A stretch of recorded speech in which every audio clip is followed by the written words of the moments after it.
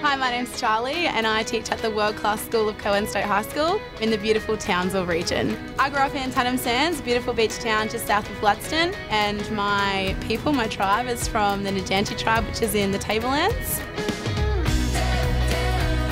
It's my first year teaching. Ever since I was younger, I really wanted to be a HP teacher. My year 11 HP teacher actually really inspired me to become the person I am today.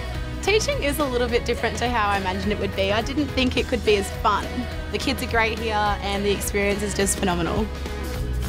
Regular day, it's always different. I always come in, I say hello to the kids, they come to school, I make lessons engaging, I make them fun and interactive, and I can always inspire them to become something that they really want to be or even something that they never thought they could be.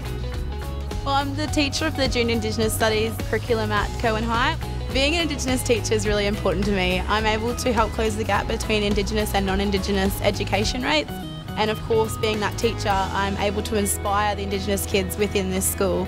The kids learn about their culture as well, which is really important for them. I can be myself and I can really have fun with the kids and make it enjoyable for them all the time. To sum up teaching in three words, I'd have to say that it's electrifying, challenging, and of course, rewarding. If you want to change lives, if you want to inspire people, if you want to make their learning fun and interactive and you just want to have an awesome life, then be a teacher for sure. My name is Charley and I'm a proud Indigenous teacher.